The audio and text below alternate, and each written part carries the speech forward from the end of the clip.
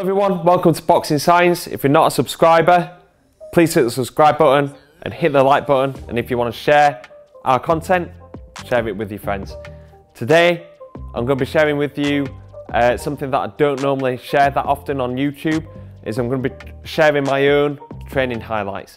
It's something that I've been sharing a little bit on Instagram recently, um, and people seem to be interested on how I'm keeping in shape and how I approach uh, strength training. So I thought I'd share it with you today, and especially because today's session is a great session that I've done with uh, GB bobsleigh athlete and two-time Olympian Ben Simons, aka Ben the Bounce. We're going to be collaborating more. We're going to be training together more. I'm going to be basically following whatever he's got training program wise and I'm going to be learning from him. He's a fantastic athlete and I can't wait to put my uh, body through the paces but also learn from him as well. So today we worked on a full body hypertrophy session, um, looking at shoulders, chest, back, uh, and then the lower body as well. Uh, we start off with a full body movement using the Viking press landmine snatch. It's a great way to train that posterior chain, preparing yourself for a heavy session. So you're getting your hamstrings, your glutes involved, you're pulling up, you're using your traps, and then you're pressing up overhead. Great way to get the body firing, ready to go into some key lifts.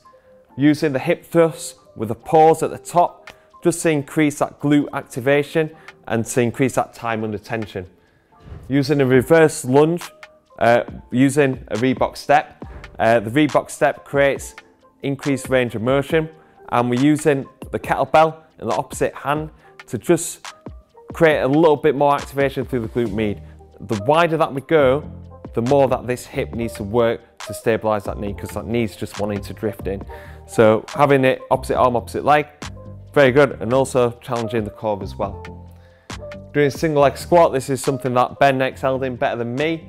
Uh, before we go into our heavy uh, push and pull superset. So we did a dumbbell bench press decline.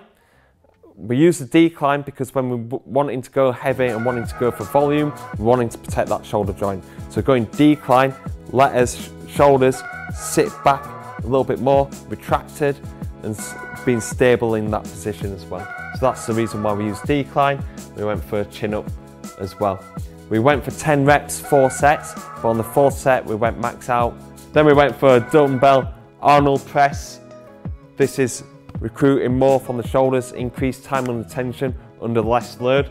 And then we finished off with uh, rollouts, hyperextension and uh, seated calf raise.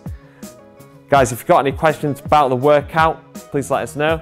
If anybody's got any more questions, please find them in the comment box below. And if you like the content and you want to see more videos of me training, please let me know and I'll pop them up and share them with you. Okay guys, see you soon.